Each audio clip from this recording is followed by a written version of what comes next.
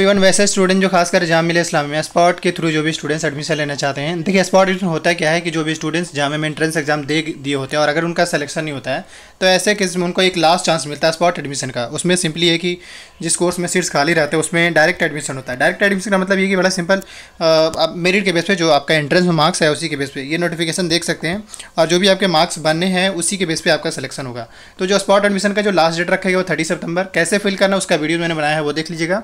और third thing ये कि आप स्क्रॉल करते हुए नीचे आएँगे तो ये सारे कोर्स है जिसमें स्पॉट एडमिशन हो सकते हैं। इसके अलावा किसी और कोर्स का स्पॉट एडमिशन नहीं आया। इसके अलावा स्कूल का भी शायद चांस मेरे वरना से मुश्किल ही लग रहा है, क्योंकि अगर ऐसा होगा तो आपको इन्फॉर्म कर दिएगा बाकी कोई भी क्वेरी हो कमेंट कर दीजिए। Thank you